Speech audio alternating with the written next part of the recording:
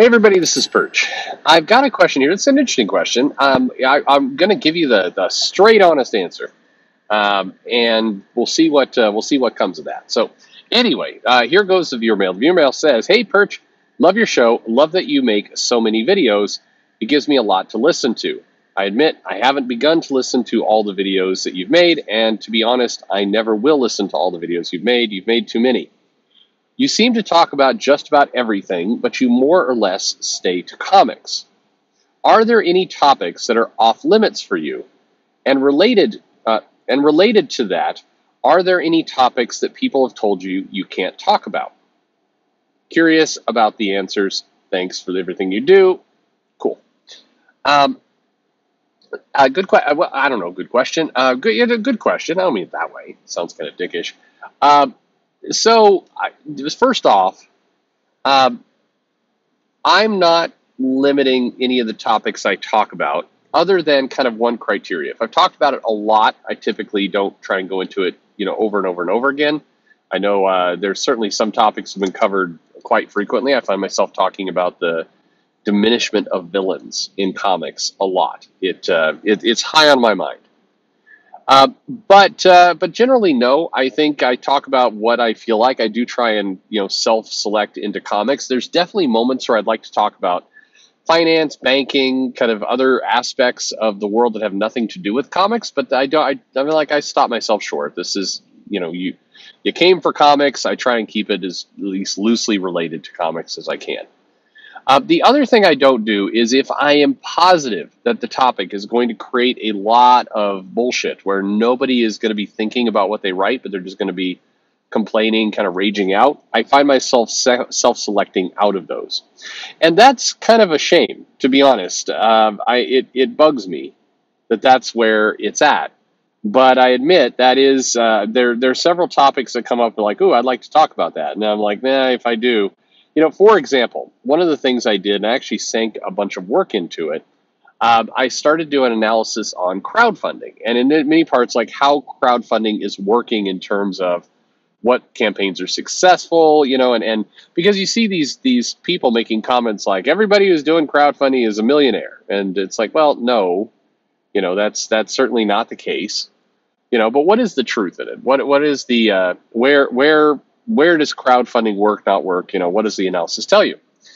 Uh, the problem is, it is uh, it is absolutely, and um, I'm sure I'll wind up doing it at some point anyway. It absolutely becomes a rage topic because there are some people who just do not want to hear anything but what they've been told, and what they've been told is that crowdfunding is making more money than any comic book publisher. It's the wave of the future, nothing else, and and and so it becomes this nonsense topic. I admit I waited a long time to talk about ESGs for that same reason, because it, it is there is a way you're supposed to think about ESGs, and that way is, you know, BlackRock is an evil, super woke, uh, you know, ultra liberal company, and that uh, if you're a comic company, all you have to do is put in some gay characters, and the government will come around and just hand you money, because that's uh, that's how ESGs work. Of course, that's not at all how ESGs work. And Black BlackRock, by the way, is just if you actually look into that company, it's it's a amalgamation of a ton of different things. And no, they're not all using ESGs. And it's anyway, anyway it's it's these complicated topics, but they've been absolutely uh, wrecked by kind of the culture war.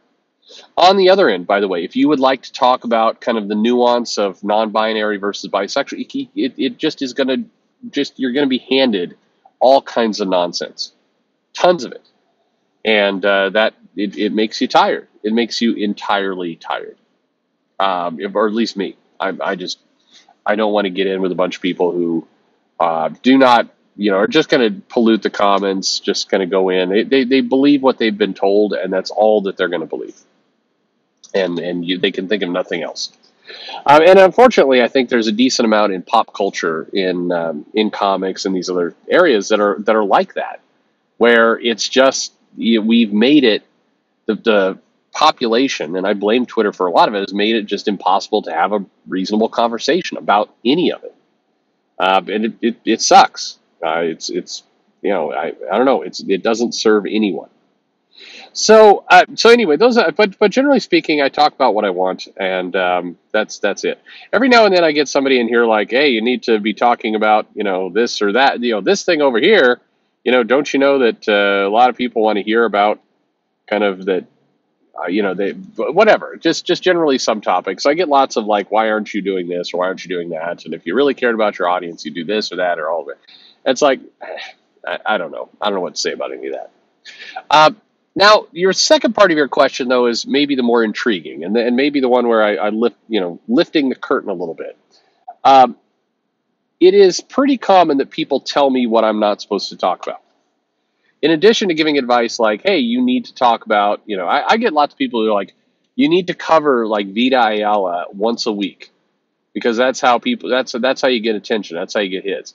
You know, you need to kind of do this. And they'll often point to somebody else's show. Did, did you know that like Nerd, Nerdrotic or this show, this show or that show or whatever? It, like, you realize they're they're a much more popular show than yours is? I'm like, the problem is you're using the wrong argument for me.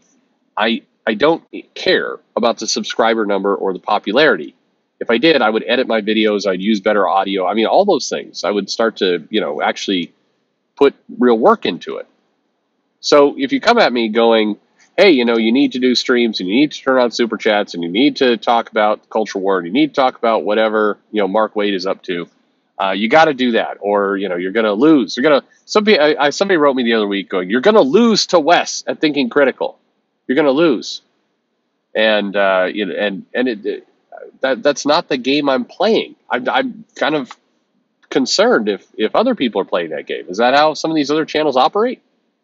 Um, I got another one like you need to be covering the Amber Heard trial. Did you see that uh, uh, Nerdette's uh, subscriber count spiked? You were you were way over her. I'm, I, I don't know if that's true, by the way, but it's like you were you were way over her, and then suddenly she passed you and and you got to you got to catch up. You got to talk about Amber Heard. It's like, ugh, I, no thanks.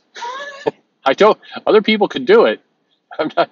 I'm not saying it that uh, you're wrong if you cover Amber Heard, but I'm saying I'm not going to cover Amber Heard. I don't give a shit about Amber Heard. Full stop. Anyway, but uh, those those are not good arguments to make. But absolutely, and and it, it's you know it's been described as kind of the night letter the uh, the subtle warning, the you're going to get drug if you talk about this. Um, and I definitely get the you need to keep these people's names out of your mouth. Um, and and I'll I'll say for uh, like a year ago, Ethan Van Sciver, man, I, people who are fans of Ethan would send I, I would say multiple times a week, going you need to keep Ethan's name out of your mouth. You don't deserve to talk about Ethan. You can't talk like if you talk about him like I'm gonna drag your chair. Like just just the weirdest threats. Um, I wound up talking about what I wanted to anyway, but it did. The whole thing felt gross and and strange. And I I mean, who like are are these the and and to be clear, because I don't want anybody to misinterpret, these mails weren't coming from Ethan. They were coming from fans of Ethan. I, or maybe it was a super deep op where there was somebody who's not, you know, hates Ethan, but like doing a reverse psychology. I I don't I don't know. But it's always these fans who are doing this. It's the same kind of I I, I would get one guy and every single time I posted a video, he would post a comment uh, promoting Cyberfrog. Every single video. And it's like sir, we're, we're talking about uh, you know nudity in comics in the '80s. Like, what what what is even the connection here to the to your point? I, and again, you're welcome to do whatever you want, but it it it it got weird, right? It, anything that's obsessive in any way gets weird. Um, you know, I go back again. This also seemed to disappear about the same time, meaning this was going on a lot a year ago. Maybe people just finally decided that I'm not going to listen to anything anybody says anyway, so stop bothering. But uh, Mark Waid was the other one. People and Al Ewing. In fact, more Al Ewing. I would get people saying, uh, "You don't get to talk about Al Ewing on your channel. You haven't earned that right." And I was like, what, are you even what are you talking about like it was such a weird such a weird way to uh, make a request for anything and uh, just just very very strange um, al ewing to this day uh, if i mention him in anything and there will be some in this this video as well if i mention the guy in anything but a uh, you know a flattering light then uh, people will will absolutely uh, start to complain about it, and it's uh, it's nuts. Anyway, don't get it. Um, absolutely don't don't understand and don't get why people do this kind of stuff. Um, but uh, but anyway, so that's the general uh, approach. Um, now these days, it's a little bit different. I've definitely gotten some mails about Eric Ripa, uh, uh or sorry, the Rippaverse Eric July. See, I'm mixing it all up in my head. Um, there's another one of like you don't get to say negative things about him, and it's always the mails are always weird. You don't get to. Um, I've had people certainly mail me for Comicsgate as well, like uh, you know, keep Comicsgate. It's always just it feels like somebody thinks they're a uh, you know a, a rap artist from 2011 because it's all it's the same. Like you keep that person's name out of your mouth. It's like, sir, fuck off. sorry, sorry for the. I I don't. I would love for somebody who maybe has done this before and uh, like like uh, so I'm asking this audience, um, have you ever written one of these mails? And did you realize later that you sounded like a lunatic? And then you're like, why am I doing this? You know, these are all grown adults. They, they can probably take care of themselves. Why am I doing this? Um, if that's you, if that's been you, uh, please uh, in the comments, uh, you know, go anonymous. I, you don't want to make it embarrassing for you, or or reach out and write me a letter. I'd love to know what's going through your mind. Like, what was what was the plan there? Like, is your plan that you're such a super fan, which is which you see, right? So, for example, um, some uh, you know, completely unrelated to comics, some music journalist uh, wrote like, "Why are there 24 writers credited for this song?" And people worked out that, that you know she was talking about a Beyonce song and all the Beyonce fans just shit on shit on her immediately. Like you you must be you stop writing. You keep Beyonce's name out of your mouth. All this kind of stuff. Just just really angry. What's weird about is Twitter was almost like supporting. It's like, yeah, the, what is it? The Beyonce fans or the BeyHive? Is that? I think they're like, they let her know what is what. Like it was a, a proud moment. But I think if you're out there telling somebody what they can and can't say, it's not a proud moment. You sound like a complete buffoon. I'm sorry. So I, I don't get uh, I don't I don't get it. Um, I thoroughly do not get why that kind of stuff goes on. And and I don't know if you've listened to the show for any length of time. Uh, I'm not saying I'm the arbiter of all fairness, but I do try and look at things one way or another.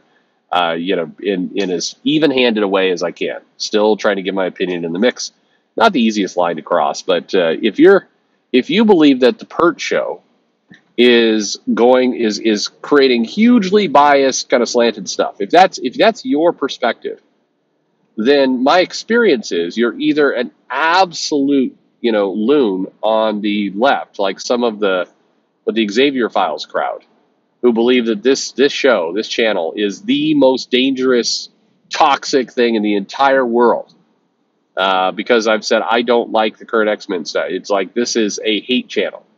They've they've said that before. A hate. They're one of the people who go further. It's not just a Comicsgate adjacent channel or a Comicsgate channel. It's a Comicsgate on steroids channel. Is what the like, and if that's what if that's what you take away from listening to this, I, I don't know what to tell you. Increase your meds. It's weird. But the people who always bitch, it's that crowd, and then it's the super opposite version of that crowd. It's the you know, I I go to every single you know live stream from the quartering, and I have been to all of them, and I have personally donated twenty thousand dollars in super chats over the years, and you are by far somebody who should be eliminated from this planet. it's like, wow, wow. Anyway, um, it is it is nuts. I, the only thing I can come away from that is there's a certain brand of people, and it really doesn't matter what their politics are, who they follow, any of that kind of stuff.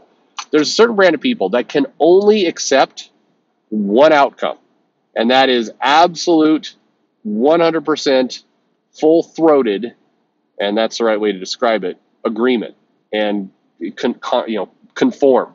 You have to 100% conform to what is being said, whether it's uh, you know the X Men is the best it's ever been, or DC is going to close up shop in in a couple months, uh, whatever it happens to be, you have to conform. If you conform, it's fine. And in fact, in many cases, I think these people They know what to do with conformity. They know what to do with arguments. They do not know what to do with people who take you know come in and go, well, let's let's talk about if that's legit or not. They like logic is the the enemy. It's a kryptonite. But anyway, I get I get lots of those. I'll, I'll you know to this day I I had a mail come in just last night, uh, telling me that uh, you know could not talk about um, this other channel. I had somebody reach out to me on uh, Twitter you know, basically, it, it's this it's this goofy stir up trouble shit. It's like, hey, some people are attacking this other channel over here, but what do you think about that? Do you think it's fair that this channel gets attacked? And it's like, God, you know, drink, drink, be like me, kill your liver, you'll be happier. Anyway, there you go. Thanks for the mail. Thanks for the uh, ability to kind of rant a little bit on this stuff. It, this it it eats me up over time. Not not in like a really toxic way, but in a like God, why are people so dumb way? So it, it helps to vent that out a little bit. Anyway, thanks for listening.